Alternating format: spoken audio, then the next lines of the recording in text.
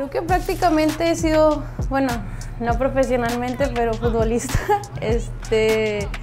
obviamente era una niña muy inquieta, eh, creo que muy alegre, sigo, sigo siendo. Este, creo que prácticamente eso, no creo que su vida ha estado rodeada de puras personas, familia que le encanta el fútbol, entonces creo que eso me llevó por este camino y sí, obviamente intenté otros deportes, pero la verdad no, no sé, no se me daba. Y pues aquí estoy, gracias a Dios, después de tantos años picando piedra.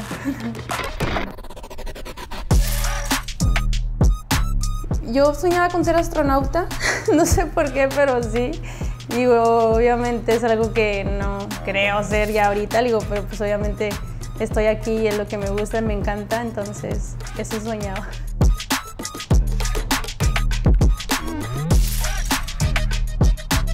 Creo que tenía como 8 años más o menos, 7, 8 años y con los amiguitos que tenía yo ahí por en la casa de mi abuela eh, nos juntábamos a jugar, ¿no? El típico de era la única niña y jugábamos con porterías de piedra y cosas así. Entonces creo que desde ahí, ¿no? Porque lo empecé a practicar mucho con, con ellos, con esos amiguitos que tenían en ese entonces y hasta los que 11, 12 empecé mi primer equipo, pero ya de niños obviamente. Eh, entonces creo que de ahí mi papá también es también muy aficionado al fútbol, no lo practica, pero le gusta demasiado, entonces me ponía mucho a ver con ellos los partidos ahí en la tele. Y pues ahí fue naciendo, ¿no? yo le decía de que algún día voy a jugar en ese estadio, él es fanático a los Tigres. Entonces nos poníamos y yo, un día voy a jugar ahí, le decía de chiquita, entonces se me cumplió gracias a Dios y creo que de ahí no, de, familia. O sea, si a mí me hubieran dicho que 10, 15 años iba a estar aquí, la verdad no, no lo hubiera pensado, creo que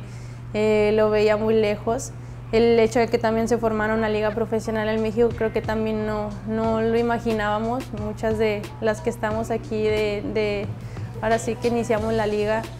eh, la verdad es que ha cambiado mucho y ahora las niñas ya te ven como ejemplo y la verdad eso es muy bonito como persona, el que te reconozcan a veces de que oye una foto, de que esto, de que soy fanático, no sé, del América y se te acercan y es como yo quiero ser como tú, entonces eso se siente muy padre la verdad como ya empezar a hacer esas eh, referentes para las niñas, los niños también ya también que te reconocen, entonces es, es, muy bonito y son cosas que vamos a guardar por siempre en nuestros corazones.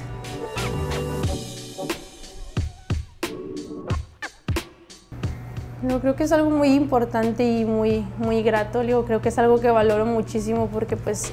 creo que hemos picado piedra muchos años y el hecho de que se haya formado la liga y seamos de las que estamos aquí, de, las primeras, ¿no? Creo que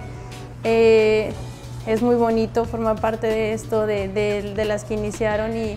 obviamente el que de ahí de aquí para adelante y que no va a parar, entonces eso es muy padre y pues nada, nos tocó picar piedra a nosotras, pero para que a las próximas generaciones espero y les toque un poquito ya más fácil el, poder practicar el fútbol y que las próximas generaciones también lo disfruten tanto como nosotras, que pues gracias a Dios nos tocó. Muchísimo, digo, creo que también ya formar parte de un club y obviamente asistir aquí a selección te hace ver las cosas de diferente manera. Mi primer llamado, bueno, fue a un microciclo. Este, me acuerdo que estábamos en pretemporada y mi entrenador me lo dijo de que iba a asistir a un, ahora sí que microciclo para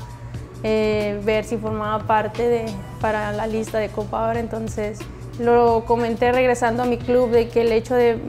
mi primera convocatoria en, Copa ahora, un torneo oficial, digo, creo que fue algo muy, muy bonito y diferente, algo que viví al máximo y obviamente aprendí demasiado pues, de enfrentar a, a, Estados Unidos y cosas que yo veía en la tele referentes, entonces enfrentarlas creo que te hace ver las cosas de diferente manera y valorar lo que haces día a día y lo que tienes porque pues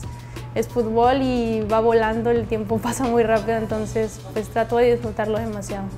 No, fue muy importante y obviamente sobresalimos demasiado. Sí, obviamente no era el resultado que queríamos, pero creo que lo trabajamos día con día, esos días ahí juntas en los entrenamientos, creo que se nos veían ¿no? en las caras de que todas queríamos eh, hacer algo histórico eh, para México, llegar lo más lejos que pudiéramos y, y dentro de lo que cabe lo hicimos. Eh, obviamente que hubiésemos querido estar en la final y ganar la Copa, digo, pero obviamente yo me quedé tranquila y orgullosa por lo que hice individualmente y el equipo también colectivamente se entregó en, ahora sí que en, alma y dejó el corazón en la cancha, entonces la verdad orgullosa de lo que hicimos y obviamente sabiendo de que podemos hacer las cosas todavía muchísimo mejor y que espero y pues ahora sí que nos toque ser parte de y me toque ser parte de para estar en el próximo mundial.